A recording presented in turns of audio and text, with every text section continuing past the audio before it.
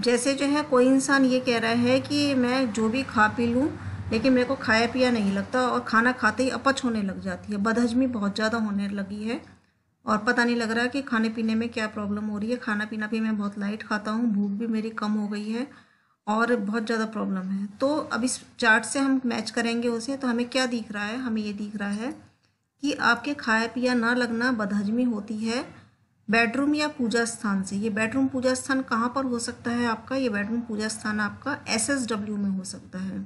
S S W के half portion में हमें फाइंड आउट हो रहा है ये। मतलब ये आपको कौन सा एरिया हो गया आपका? एस सिक्स ठीक है? एस सिक्स में हंड्रेड परसेंट हंड्रेड परसेंट एक परसेंट नहीं कह रहे, हम हंड्रेड परसेंट कह रहे हैं एस एस डब्ल्यू के एस सिक्स में आपका कोई बेडरूम होगा। या वहाँ बैठ के आप खाना खाते होंगे या वहाँ पे कोई पूजा का स्थान होगा जिससे आपके खाए पिए की बदहमी रहती होगी और ये आपके पेट में प्रॉब्लम अमाशय में प्रॉब्लम कर रही है। इससे आपका अमाशय सड़ रहा है क्योंकि खाना हमारा वहीं का वहीं पेट में ही रखा रहता है, पच नहीं पाता। तो हमें वास्तु चेक करना है, डायरेक्शंस चेक करनी है, उस जगह को वहाँ से हटा देना है। एस एस डब्ल्यू में जो भी चीज़ होगी वो क्या करेगी?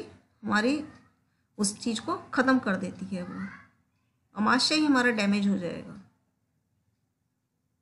ठीक है?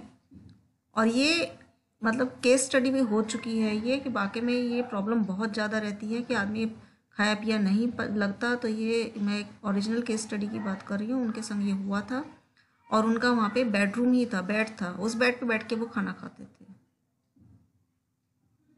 तो जिसको ये प्रॉब्लम है तो आप इसको हटा के इसको फाइंड आउट करके और इसका सॉल्यूशन निकाल सकते हैं इस चार्ट्स के थ्रू क्लियर है? अब इससे आगे बात करते हैं बात की।